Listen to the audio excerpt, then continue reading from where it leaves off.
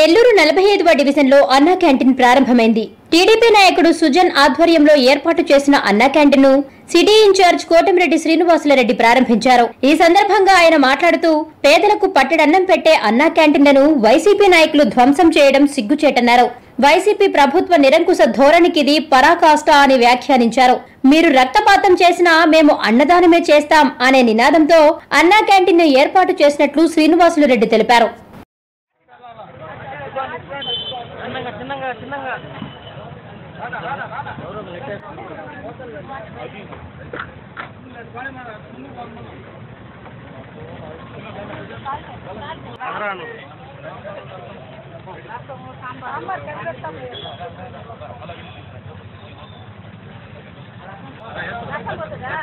Table మీద పెట్టాము నిలబడుతుంది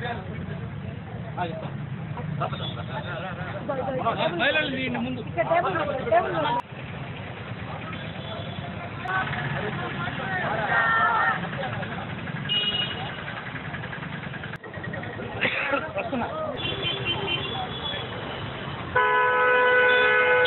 ఈరోజు పేద కడుపు పేద ప్రజల కడుపు నింపాలనే ఉద్దేశంతో మా ప్రీతమ నాయకులు చంద్రబాబు నాయుడు రాష్ట్ర వ్యాప్తంగా పిలిపించాడు.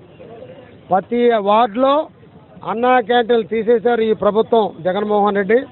అందువల్ల దానికి నిరసనగా ప్రతి వార్డులో రెండు వందల మందికి అన్నదానం చేయమని చెప్పడం జరిగింది ఈ రోజు నుంచి. మొదటగా నలభై ఐదవ వార్డు ఎన్నుకున్నాం. ఈ వార్డు సభ్యులు అందరినీ కూడా వార్డు కమిటీని వార్డు సభ్యుల్లో ప్రతి ఒక్కరిని పేరు పేరున నేను అభినందిస్తున్నా. ఎందుకంటే అన్నదానం అంటే ఏదో మొక్కబడిగా అన్నం ఒక సాంబారు అన్నం పెట్టేది కాదు. అన్ని రకాలుగా కేసరి కానించి స్వీట్ కానించి రసం దాకా మజ్జిగ దాకా తాళింపు దాకా సాంబార్ దాకా అన్నీ కలిపి పెట్టారంటే అదే తెలుగుదేశం పార్టీ ఒక విధానం.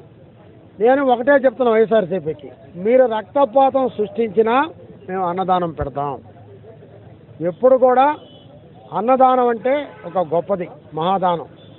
ఈరోజు ప్రజలు చూడండి ఎంతమంది కీలు నిలబడ్డారు ఇదే చంద్రబాబు నాయుడు అన్నా క్యాంటీన్ పెట్టి ఐదు రూపాయలకు భోజనం పెడితే మూడు పూట్ల పదిహేను రూపాయలు కడుపు నిండేది. ఈరోజు ఎంతమంది చూడండి ఉచిత అన్నం వాళ్ళకి అన్నదానం అన్నదానం కాదు ఉచితంగా పెడుతుంది తెలుగుదేశం పార్టీ అంటే ఇంతమంది కీలో నిలబడ్డారు. ఇక్కడ అంగళ్ళోళ్ళు తోడు వచ్చారు. చూడండి ఎలా ఉందో. అటువంటి వాళ్ళు పొట్ట కొట్టాడు జగన్మోహన్ రెడ్డి. దానికి నిర- దానికి నిరసనగానే మా చంద్రబాబు నాయుడు గారి పిలుపు మేరకు ఈరోజు ఈ వార్డులో స్టార్ట్ చేసాం టౌన్లో ఇరవై ఎనిమిది వార్డులో పూర్తి చేస్తాం.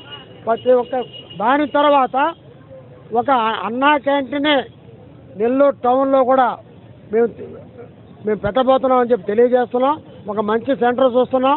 ఆ సెంటర్లోనే రోజుకి ఉదయం సాయంత్రం రెండు పూట్లు కూడా ప్రజలకి అన్నదానం చేయడానికి సిద్ధంగా ఉన్నామని కూడా మేము తెలియజేస్తున్నాం. ఎప్పుడు ప్రజల పక్షాన తెలుగుదేశం పార్టీ ఉంటుందో తెలియజేస్తున్నాం. మరొకసారి తెలియజేస్తున్నాం. వైసీపీ ప్రభుత్వం మీరు రక్తపాతం సృష్టించినా మేము అన్నదానం చేస్తామని మరొకసారి